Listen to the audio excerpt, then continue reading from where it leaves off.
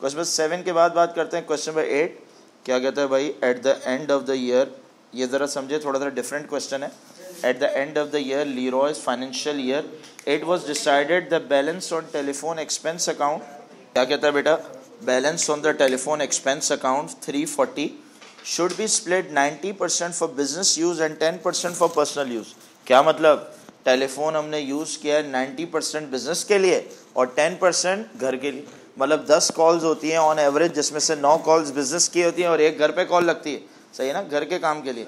With journal entry records the closing of the telephone expense account at the end of the year यार, मुझे बताओ year end पे expense account को कहाँ transfer कर देते हैं? इनकम स्टेटमेंट तो नॉर्मली तो एंट्री क्या बननी चाहिए? इनकम स्टेटमेंट डेबिट और telephone account credit income statement debit और टेलीफोन अकाउंट यार, देखो टेलीफोन अकाउंट तो क्रेडिट हो जाएगा कितने से?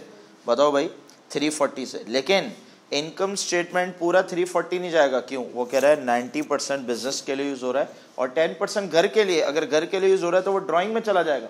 क्या एंट्री बनाएँगे? ड्राइंग डेबिट थर्टी फोर से income statement debit ninety percent जो अमाउंट है तीन सौ छः और जो टोटल टेलीफोन है वो कहाँ हो जाएगा? क्रेडिट हो जाएगा।